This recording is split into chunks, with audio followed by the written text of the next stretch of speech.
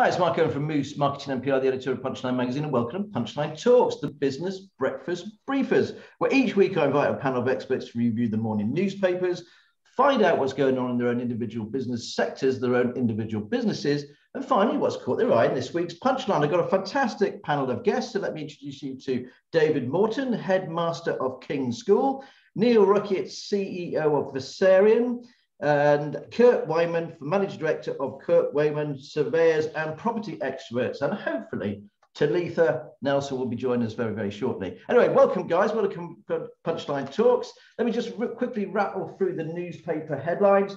Here we go. The Western Daily Press, council sorry for adoption failings. The Citizen newspaper, chaos, mum's anger over school parking. The Times, variant halts travel to Africa.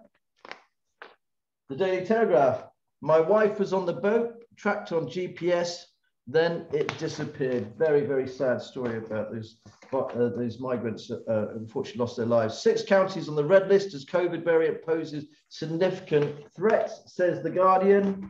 The Daily Express, UK troops patrol French beaches. And then the Daily Mail, the exact opposite. Macron's non to UK boots on French be beaches. So if someone's got that wrong somewhere, the Daily Mirror, the DIY deaf boats, terrible, absolutely terrible. The Sun, Richard out, Arlene and Naughty Boy on the brink. I've got no idea what they're talking about there. I think that's celebrity get me out of here. And the Daily Star, the Daily Star, don't you just love it? Could somebody call the fire brigade for the old girl, please? This is about Madonna getting stuck under the bed. And um, the, the, the main song is Papa, Mama Can't Reach, is one of the taglines in there, which I absolutely love. Anyway, we'll crack on with the show as Talitha is just about to join us. David, what have you picked out for us, please? Well, just to pick up on your your headlines there, I think the the new variant uh, that has been uh, discovered uh, and the possible uh, increase of uh, lockdowns again um, is obviously something which is a concern for a lot of people. I think this morning, uh, parents that I've been speaking to have said that they kind of feel we just need to get on with life now and accept that COVID is going to be with us. but every time a new variant comes, you know that that changes the landscape a little bit. So um, I'm you know really optimistic. Obviously, as a head teacher, I want children to be in school all over the county and all over the country. Um, but we obviously have to keep them safe. Uh, that's our, our, kind of first duty, really, as as head teachers. Uh, so it's going to be interesting to watch that story in in the weeks ahead. That's right. It's a very very scary development that is coming down the tracks, isn't it? What else have you picked out from the papers, please, David? Well, so I uh, went with Black Friday. Um, I was looking at an article online, and uh, rather than sort of the traditional uh, excitement over all the offers that are out there in the shops and so on, it was really nice that it was a, uh, an article about Stop Black Friday, uh, organized by uh, someone who set up a company called Different Kind. Uh, this was in the i newspaper, and it was uh, a feature on socially conscious retailers uh, and looking at how we can support small producers locally, minority groups, people with disabilities, reinvest the profit. So the exact opposite of the, the Black Friday rushing to the big stores and buying things you don't really need that have traveled most of the way around the world to get there. Um, so, you know, this is something that we see again in education. Children are much more conscious of their choices and their parents' choices and, and where things come from and the impact of their uh, lifestyle choices as well. So, I think that's really interesting. And uh, as a cathedral school, I'd perhaps point out that it's Advent this weekend, and that's the traditional start of the Christmas period. Uh, it's a shame that the headlines are all dominated by Black Friday and consumerism. Totally agree. Totally agree. Totally, really, really good story to start off with. Thanks ever so much for that, David. I go over to uh, Kurt now. Kurt, what have you picked out for us, please? Um, a, little bit of a, a, positive one, Mark. We, you know, we had the uh, COP26 summit uh, only a few weeks ago, and it seems to have gone off the agenda uh, quite quickly. I know there's been a, a, lot of other things that have it's taken its place. Um, but there were a few articles this week in the paper, sort of follow-ons, and one of those, and I think it's sort of a lot of work to be done, but very much on a positive note. Uh, and there was an article, both in the Times and the Telegraph, um, curbs on plastic waste seem to be working. Um, single-use plastics, plastic bottles, cotton buds, plastic bags, and so on and so forth. And I think there was a research done recently that um, the, over the last 12 months, the litter found on British beaches is 10% lower than it was previously, uh, which I think is an all-time low in the last 20 years. So I think with all these things, there is an awful lot more to be done but it just shows something simple. We, we don't need single use plastics. There is absolutely no need for them apart from burying them in the ground and using them. You know, it's just crazy. There's got to be other solutions out there, that, you know, at the moment. Um, but it's positive to see a good story coming through that actually, you know, a small thing, but it can start to work quite quickly, which is what people want to see. Great story. Totally agree with you that it was like 10 or 15%, wasn't it? Reduction on our mm. beaches. Um, what else have you picked out for us very quickly? Um, a couple of things. Um, an interesting one, really. Um, and mine is sort of, I've tried to sort of stick with environment and sort of property, which are my, are my things. Um, the one, interestingly, and it's not local, but I think there's a local bearing to it. Um, and when I first saw the article, it was in a few times this week in various papers. And when I first saw the article, I thought it was actually a building in Gloucester because it looked very, very similar to a property that we've been involved with. But it was actually it's um, Marks and Spencers are in trouble about their flagship flagship store uh, at Marble Arch in London, and they've got a lovely old Art Deco building uh, that stood there for nearly hundred years, and uh, the plan is they've just been given planning permission to demolish it and build something new in its place. And I think that the feeling is, although I haven't seen the plans, that the replacement that they're putting up uh, is very bland, nothing exciting, and what a waste knocking down this building. But it looked absolutely identical to the old Argos building in, in Gloucester, which is an also, uh, you know, a beautiful old Art Deco building, seen better times. Um, and I think again, you know, following on from the sort of theme of the of the first one, uh, it you know it said in the report that knocking the building down and replacing it with a new building would be responsible for 39,500 tons of carbon, um, which, you know, by, by Marks and Spencer's own assessment, would require 2.4 million trees to offset that car, you know, the, the, the, the buildup of carbon. So, you know, it's one of those. I think we need to find new ways because that seems uh, crazy. But well, that's that is the perfect link to our next guest, who's Neill Ricketts. Neill Ricketts from Versarien. Versarien manufactures graphene. Graphene they're just putting into concrete. Neill, welcome to Punchline Talks. Just got my mask on here, Mark, because I heard you come back from South Africa on your holiday. So I just. Well, I, I think you should keep it on. It suits you, mate. totally reusable, featuring graphene. Perfect product. Just saying. Uh, I saw so, your adverts uh, the Times, by the way. I did I see mean, these adverts. The, the papers are dominated by a few stories. Immigration was one of the ones that I was going to lead with. I mean, uh, it's a very polarizing story. You can't uh, say the right thing uh, without upsetting somebody, but it is a major challenge. You know, the, these poor people, you know, they're they've had their homes destroyed you know what what would you do if you were in their position? And um, you know so that's a, a, big story that's being led. The government are obviously really struggling. Climate change as kurt said you know huge. I've just come back from barcelona where we had a, a, an exhibition and a, and, and a conference about you know how do we change the world? There's a lot of talk. How much action is there? You know i'd really like to see some of these things starting to come to fruition now. We haven't got time interesting enough, uh, following what Kurt said about the plastic pollution, I'm absolutely sure that that's a result of people not going to the beaches because of the lockdowns. And it's the first time we've seen an improvement in the, the Great Barrier Reef. So, uh, huge uh, improvement in the color and, uh, and the life of the barrier reef. And is that because we weren't flying and, uh, and doing the things? There's a, a kind of move towards going back to where we were pre-pandemic. But I think we do really need to question this. I mean, a few years ago, we would have been doing this in your office. We'd have all been traveling to the fire station, which is now redundant. And, um, and, and having, you know, having traveled in the traffic, having got stressed. But actually, do you know what? I quite like the fact that, you know, you rang me up five minutes before the show and, uh, and I was able to get there for you, Mark. So that's brilliant, mate. Can you just move your mic slightly? It's, it's rubbing and making a kind of beaking noise. Oh, I'm terribly sorry about that, Mark. Yeah, that's okay. No, no, no. I, will no. move that for you. I, I, love the way you get my fire station in there. Okay, last last 30 seconds then, mate, and then we'll go over to, to, to Leaford, please. Uh, the the other thing I was going to mention is inflation. You know, so we do need to keep a cautious uh, look on inflation. It's in the papers today about the price of bread going up. Uh, I'll be making my own bread from now on, but um, there there you know there is a move towards you know higher inflation as we go through the next few months. So um, we just need to be uh, a little bit cautious. Fantastic. Thanks ever so much for a great roundup. Totally agree about the beaches. Maybe you're right. Nobody's been there, have they? So it kind of makes sense. Talitha, welcome to Punchline Talks. Great to see you. Um, what have you picked out from the papers, please? I mean, I don't get the papers. I live in the middle of nowhere. But in terms of news and sort of sticking to charity, probably in my sector, um, I think for us, it's always slightly worrying as as as it is for businesses. The stocks um, and and prices are starting to be affected by the new COVID uh, variant, and everybody's getting slightly worried. And we have an investment, so anything that affects our investment means there's less money for the charity sector. So that's always a concern when we see stocks and shares. Um, it went down probably in the middle of the pandemic at the start by about 20% our investment. So that was really, really worrying. And then actually it came back up and we'd lost around 2%.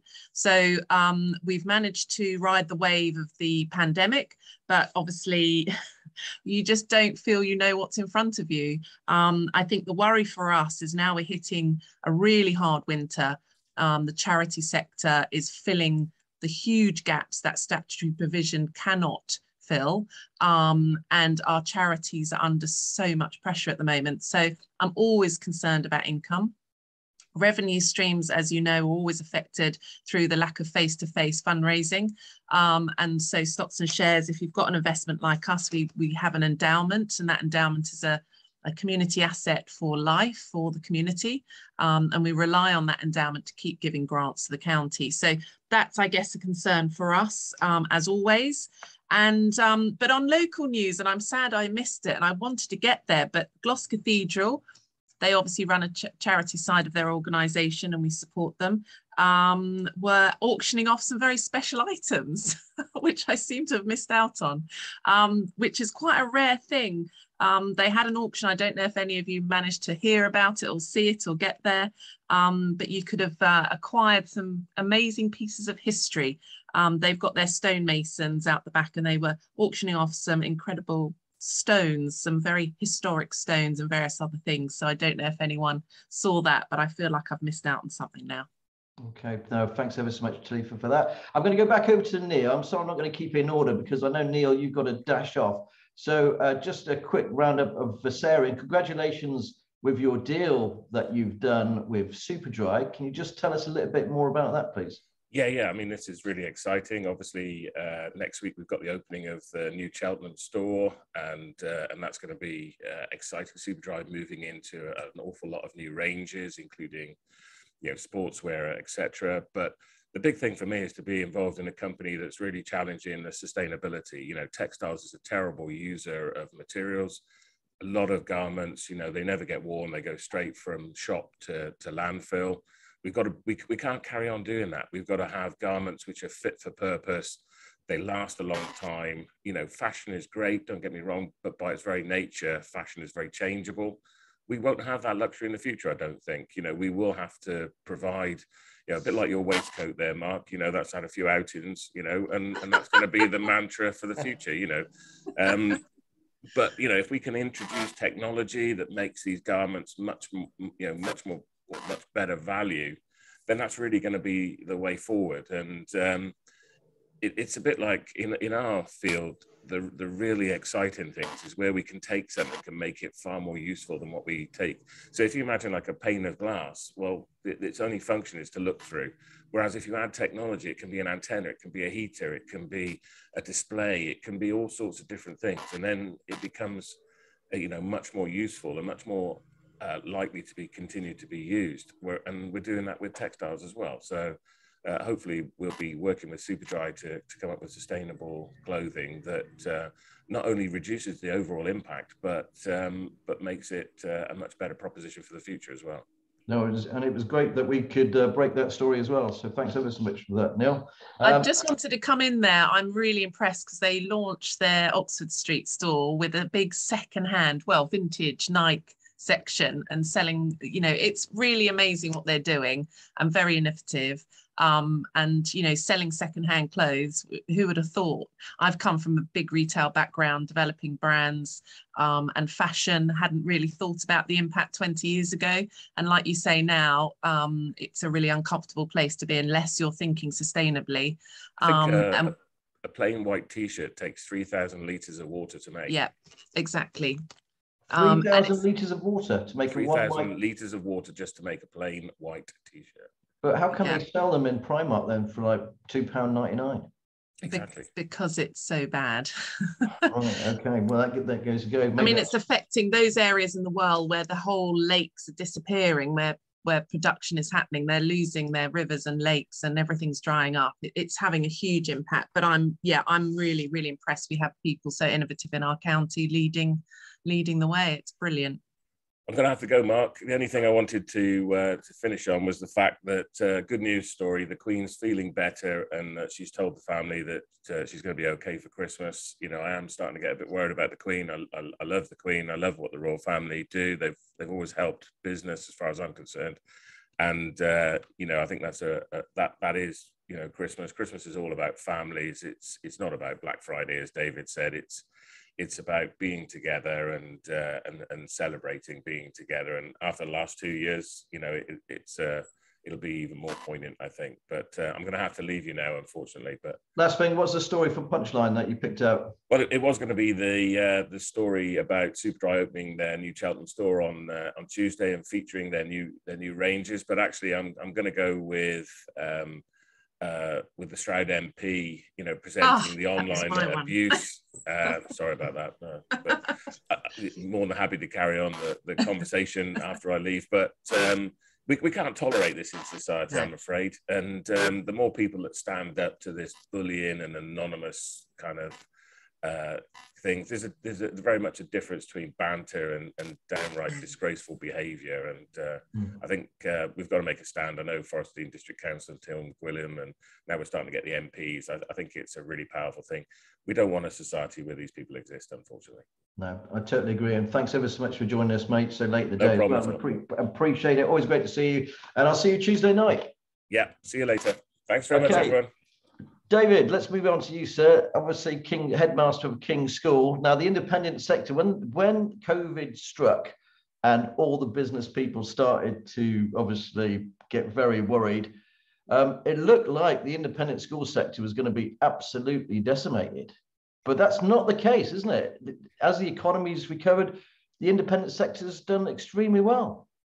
I think the independent sector has has done well. Um, I think one of the advantages of being independent is that you can adapt very swiftly, uh, and you're not necessarily dependent on central government or local government to uh, give you guidance or permission to do things. So uh, we were able, as a, an independent school with some very supportive governors, to adapt uh, when the situation arose and uh, to adjust our education. So uh, schools were closed uh, way back in March, weren't they? And uh, so uh, two years ago now. Uh, and by the start of the following term, we'd got all the remote learning set up, as many other uh, local schools had done, and we hit the ground running from day one. So uh, I think that started something of a divide, which in some ways saddens me. But of course, I'm also proud of my own proud of my own institution. Um, but I think the independent schools did do well. They adapted quickly, and, and people began to see uh, that that difference. And of course, you know, people invest in their children's education because it's one of the most important things you can give uh, to your family. Um, so we have seen uh, numbers uh, rising at Kings in the last couple of years, uh, and we've also seen the move west. Uh, from the southeast of England as a result of the pandemic and the, the changing patterns in the UK. Um, but I know some of the schools have found things difficult, and some independent schools have boarding. Uh, they depend on overseas borders, uh, and certainly that aspect of their marketing has been much, much harder. So I think you know overall it's been positive, uh, but there are certainly some schools who uh, who have found things difficult. Now, King School, um, and right, they they were hopefully you saw that we recognised you guys as well for the fantastic work that you did during the pandemic. You were making visors, and uh, you had a little factory going there at one point, wasn't it? Yeah, we did. We uh, were using our own uh, facilities uh, to, to make some of the PPE for uh, the NHS. We also made, uh, we got into a sort of sideline of making screens for reception areas. So uh, the Monk's Kitchen in Gloucester Cathedral had some, their visitors area had some. we made them for a couple of other parents who worked in local charities, at hospices and so on. so we, we, again, adapted fairly swiftly and, and did what, you know, every business should do really, which is support your local community when, when times get hard. Now you've also invested in the school as well. You've got two million pound you've spent on a new sixth form. Can you just quickly tell us about that? Yeah, of course, be delighted to. Uh, and this is another one with a community link as well. So uh, the school and the cathedral are very closely linked. Our, our buildings are literally intertwined in the centre of Gloucester. Um, and our sixth form centre was a very old building dating back to the 13th century. Over the years, it had grown quite tired. And I think you came and interviewed me in it just before we started the work. Um, and we've now invested, as you say, a couple of million pounds uh, into that uh, cathedral owned building and we've turned it into a 21st century workspace. So um, the students are going to be prepared for the world of work. It's much more flexible. The furniture is all modular. The Wi-Fi is fantastic. The interactive whiteboards are state of the art. There's a kind of cafe social space where they can both relax and work at the same time. Um, and we've uh, put artwork around the walls which reflect uh, sort of themes of inclusivity and celebrating diversity and inspirational figures from uh, British and, and, global history. So uh, we're really, really excited by it. And uh, in terms of kind of measurable outputs as a, as a business, um, to turn away from being a school for a moment, uh, we've seen a threefold interest in the sixth form from external pupils, which has been wonderful as well. I mean, no, I'll have to go back and have a look at it, obviously, because you've got the video what it used to look like. And also, I just want to say that so one of the one of the things I did really enjoy about King's School was I met my uh, hero Terry Waite as well, and uh, that was fantastic to meet him. Anyway, thanks ever so much for that, David. Go back over to you, Kurt. Um, didn't you used to go to King's School, Kurt? I did, yeah. David wasn't the headmaster then, but this was 30 years ago. Anyway, the commercial the commercial property market uh, that you're an expert in, we see your boards all over the place. In fact, it seems like you know you kind of dominate the market in some ways. Um, um, we all know that the warehousing side of the business has boomed, but what about the offices? Mm. Um, the office market's a difficult one, Mark, to be honest, because when you look at uh, Gloucestershire, or when you look at Cheltenham and Gloucester, uh, you've got two very different markets there. The Cheltenham market over recent years has actually been very, very strong. There's a lot of companies that were very keen to move into the centre of Cheltenham, which is great to see that resurgence again after companies for many years sort of moving to uh, business parks on the outskirts. So it's great to see that companies realise the benefits of coming back into a, into a town. And certainly in Cheltenham, we've seen record levels of rental and that's still there. There's a few schemes in Cheltenham uh, where, where you know they're getting great interest on the offices. Um, the quadrangle recently refurbished to you know to provide really modern plan, open plan offices right in the centre of town. And if you do that, record levels of rental. So that market is still there, I think. Uh, the Gloucester market has been a lot more patchy, um, and it traditionally has been.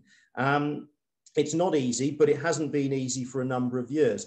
Having said that, deals are still being done, and we, you know, don't think by any means that the office market is dead and there's nothing happening because that's not the case. I was speaking to an agent yesterday uh, who's marketing a scheme on the outskirts of Gloucester, um, and there's demand for the scheme. You know, they haven't got one vacant unit, and there's strong demand there. Now, that's not the case throughout the town. It's a little bit more patchy, but where we've scored on a few occasions, a company's downsizing. So they're in 8,000 square feet of offices, had a reorganization because of COVID, people working from home and so on and so forth. Um, and accordingly, they've downsized. They now want 4,000 square feet. So I think the market is still there. Um, I wouldn't be calling it just yet that people aren't going to be working from offices. I think that's a bit of a knee jerk reaction. And uh, I think the sense is that offices are definitely here to stay. Uh, but I think there will be a little bit more flexibility with some companies. Okay, what and very, very quickly, mate, the overall look on the retail sector and the hospitality sector. Are they bouncing back, or you know, like some Montpellier, which seemed to have struggled? Are landlords at long last reducing their their rents? The, the big issue, mate, Mark, isn't so much the, the rentals actually. Um, and we what we haven't seen dramatically is rentals drop, ironically, because a lot of rentals are historic. You know, these companies have been there uh, for many years, and often the rentals can only go up and not down. Um, so it's a bit of a false market in many respects. Um, the, the big thing that hits the, the retailers because of those historic high rents is the rating liability. So the business rates for a lot of these companies is the issue because even if landlords take a fairly pragmatic view and say, well, actually the rentals were up there, they're now there, so let's do a deal at that. Um, it's still the business rate that is a big issue for a lot of the retail occupiers. Um, having said that, um, the, there has been a slight resurgence in the retail market, which is great to see. It's not all doom and gloom. Uh, some of that is led by the charity sector. Um, you know, there's a lot of charity shops out there now. It's big business. It's not the charity shops that we envisaged 15, 20 years ago. Um, you know, this is a big business, and uh, we manage an estate where there's uh, an industrial unit run by a charity that now run 20 odd shops throughout the county. it, it is a business. And we've also seen a resurgence of small independents coming back to what was being said earlier which is absolutely fantastic. It really is. And I think the big stores are moving out, uh, smaller independents coming through. Okay, thanks ever so much, Kurt. Fantastic snapshot of what's going on in the market. T- Talitha, let's know you're the CEO of Gloucestershire Community Foundation, looking after the charity sector. You and I talked a lot during the pandemic. We were really worried that a lot of the a lot of the charities were on their knees. Uh, what's the sort of um, case at the moment? How's it all going? Yeah, it's tough. So uh, we did um, a major piece of research in the pandemic looking at how we could support um, the resilience building of our sector. So we, we, we're trying to get through a pandemic and what does it look like? And most charity leaders were trying, ripped up their strategies and business plans and had to start all over again. So I think for us, the major piece of research at the time, when we did it in 2020, 20, early 21 this year, um, was charities under 50,000 turnover were vulnerable, but there wasn't many of those. And the majority looked pretty resilient. And that was brilliant to look at Gloucestershire and our charity sector. We've got about 5,000 charities, 3,000 registered it's an incredible sector in our county um, has been very much uh, in the in the sort of shadows of every other sector and probably very unrecognized and appreciated. And i think through the pandemic the charity third sector really had the light shone. It was all about community all about charity. And finally there was some press and some you know acknowledgement for this incredible sector. And actually it's continued so I think over the 12 months, most of those charities had some fairly good reserves, had some stability. Now, we don't know what the future looks like, but I think once those reserves may be depleted, and once we get through the 12 months where money was flowing through quite well through COVID, there was quite a bit of money coming through various areas from government and grants and trusts, that money is disappearing. And I think when you look at a normal year or a regular year, 2022, where you don't have that funding and where the need is going to dramatically go up, I think we're going to start seeing um, change this year. This is the year that we're feeling pretty concerned about. Um, so we hope um, that we can continue funding and that takes the sectors to come together. Hopefully, corporate social responsibility is on the up, and anyone who's doing very well in the county really thinks about giving back to their community. And there's so many ways to do that, not just money, but time. Um, we do a big piece of work with some of the, the um, corporates around pro bono work and support. So I think when you're looking at next next year, I think it's about the sectors working together, and we're going to have to work together like never before because all of us are affected in community, whatever sector we're in. Um, so that's the piece of work I'm doing at the moment, how we can work better together as a sector. But I have got some breaking news. And I would like to let you all know Jeremy Clarkson launched his new beer last night. My friends at Cotswold Brewing Company um, have just launched a brand new beer in Gloucestershire, which is very exciting. And I'm sure it will go global. It's called Hawkstone, um, and uh, they're brewing down at College Farm on the Stowe Road near Bourton on the Water. And they had a brilliant night last night um, with the with with launching it. So I'm so excited to see the innovation of small businesses in this county that seem to just grow and grow and do amazing stuff. And I think having someone like Jeremy fighting the corner of rural communities, farming, I mean, most of our friends are farmers, and they said he's done more for farming than most organisations.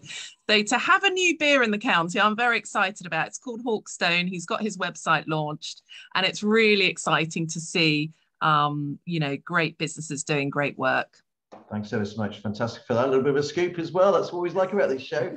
David, okay, we're moving on now to uh, the punchline section, actually. What, what's caught your eye in this week's punchline? We don't have very much time left, unfortunately, but uh, we can quickly rattle through. What's what's caught your eye, sir? Yeah, just uh, one little article which is it was lovely to see was uh, you had a, a piece about uh, a former King's student Adam Heron who's going to be performing uh, in a music concert in uh, Cheltenham and had dropped out and had found a replacement. Um, and it was it was really lovely to see, uh, exactly as we just heard from Talitha, that there's still that that great community support and people want to get out, and we've got to support music uh, and you know the local industries that we've talked about. So I was really pleased to see that the show will always go on uh, in in the best fashion. So that was good to see. Thanks ever so much. Okay, I love the bit. The show must go on, and this one must go on as well. Kurtz, what's caught your eye, please, sir? Uh, I think this week, Mark, Gloucester, the uh, the Gloucester Food Dock. Uh, mm. down off Commercial Road. Um, this has been, I, I went around that building many, many years ago. I think when it was on the market about six or seven years ago. And, um, you know, it's sat there. We've driven past it hundreds of times. And it looks like, I think they got planning back in 2016. Um, they, they've now changed the plans back in 2019. They're on site, the, you know, the builders are there, it's all happening. And I think importantly, that will act as a little bit of a catalyst between the town and Gloucester Quays, which has been sadly lacking, not through any fault of anybody, because I know that uh, the council very much tried to get that throughput of people and make the route a little bit easier. Um, but it's still been a, a, little bit out of the way. But I think this will act as a good link between the town and the Quays and the docks. Thanks very much for that one. Talitha, what's caught your eye, please? I know we don't have much time, so it was for me um, about our Stroud MP bringing. Um, I think she was amazing in Parliament and the way she spoke. She she's just brilliant, um, highlighting this horrific online abuse. Um, and it just doesn't seem to um, get dealt with at the top of these billion dollar companies who very quickly, when there was a COVID announcement online, they could put COVID restrictions on and they did things very quickly when they needed to. Um, for some reason, when there's bullying language, nothing pops up um, and, you know, they're making huge amounts of money out of social media and they're not doing anything. And government must crack down. You know, this has got to stop. It's absolutely horrific. The suicide rates of our children are going up dramatically. And the correlation between that and the, and social media is huge. Um, I won't go into the stats, but it's horrific. So not just for children and adults, but the whole of the globe is going through this social media crisis that just has to be dealt with. If, if, 20 years down the line, we're going to look back and think what was going on and how horrific it was and how it just wasn't being dealt with. No, thanks ever so much. And that was my pick of the week as well, actually. I, I mm. interviewed mm um, um, Siobhan Baillie. I think she's got a fight in her hands. It's going to be really, really tough because they're going to have people actually who won't like this at all. They they want to abuse other people, and um, and yeah, it's going to be a, a, tough fight. But I think we can all get behind her. I think that'd be great. Anyway, thanks ever so much for joining uh, Punchline Talk today. So if you like the show, please like, share, and subscribe. And hopefully we'll see you again next week. Thanks for joining us. Bye. Thank you.